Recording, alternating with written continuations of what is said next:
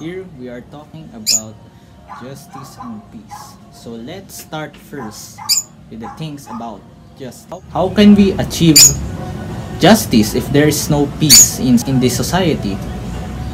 How can we learn to accept that all of us and no one is above the law? Should we just practice being just when we can all treat our fellow humans treat them with respect treat them with dignity is it very hard to do? But no the answer it depends on who you are as a person on how you can bring justice and peace to a society which is full of ills problems vices.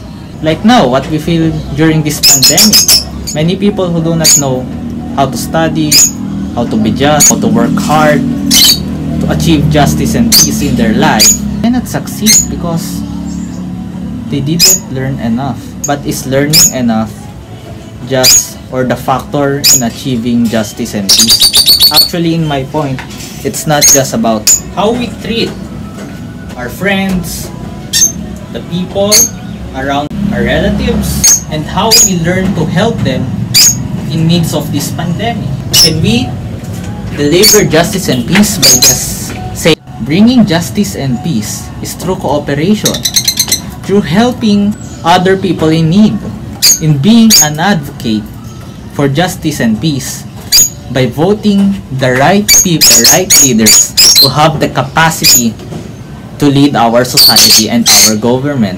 And when we know how to do the responsibilities as a and as a Filipino, we can deliver justice and peace fairly. But how? Is peace so hard to find? Is peace so hard about peace all the time?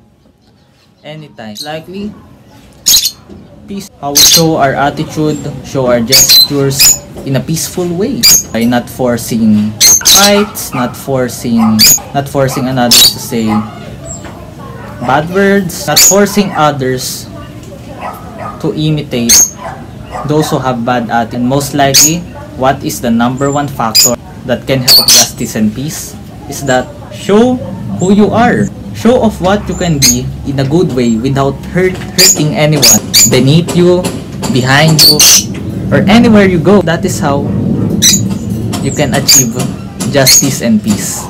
Do not hurt anyone respect their flaws, respect, respect for who they are. Because they are humans too. They deserve respect.